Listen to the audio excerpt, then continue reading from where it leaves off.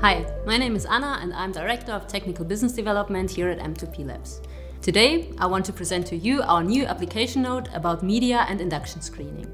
Recombinant protein production is a common technology in bio-based industries. With its workhorse being E. coli due to its ease of genetic modifications and potentially high protein titers. To achieve high protein titers, the cultivation media is of major importance. Here, the nitrogen source is of focus for the protein production. Especially complex nitrogen sources are often efficient but also very versatile. To screen for different media, a high throughput platform is required. The BioLector system offers online measurement of biomass, pH, dissolved oxygen, and fluorescences with the option of automated liquid feeding. So what was done in this app note was that different TB media were prepared with six different yeast extracts provided by the company Procelys to evaluate the impact of these different nitrogen sources on the growth and protein production of the organism.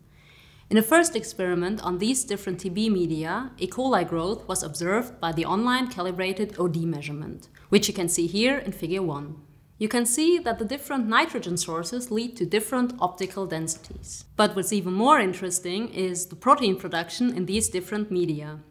Therefore, we used E. coli flavin-based fluorescent protein as a reporter protein for protein production, which is inducible with the inducer IPTG. With the integration of the biolector into the robolector, an automated induction dependent on the biomass concentration is feasible.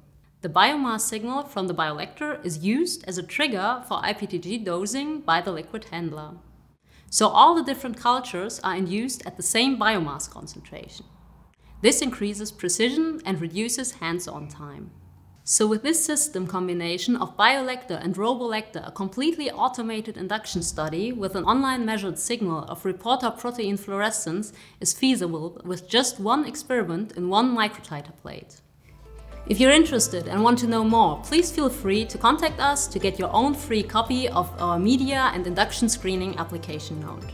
Thank you for your time and your attention.